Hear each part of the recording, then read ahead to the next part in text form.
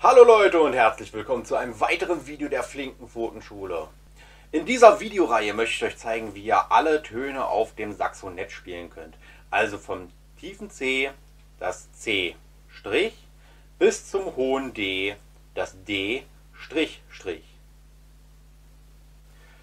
In diesem Video geht es um unseren letzten Ton und zwar das hohe D bzw. das zweigestrichene D. Okay, dieser Ton steht in der Grifftabelle, indem man einfach nur den Mittelfinger der linken Hand auf das zweite Loch des Saxonetts macht.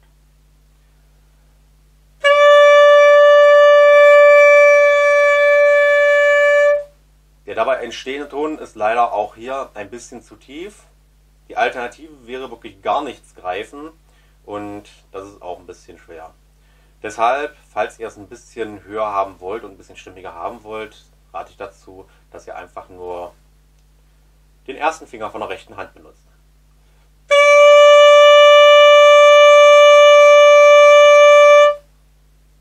Gut.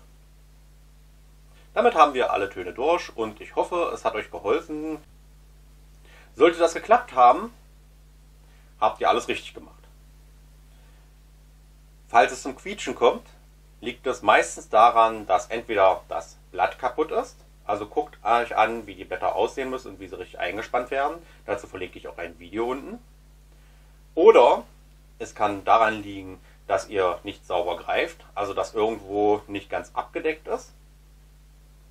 Und die dritte Möglichkeit, die besteht, ist, dass ihr den Ansatz völlig falsch nehmt. Ihr müsst mit den Schneidezähnen oben auf dieser Bissplatte aufliegen. Die unteren Schneidezähne berühren nicht das Blatt. Das Blatt wird von der Lippe berührt, von der Unterlippe und gestützt.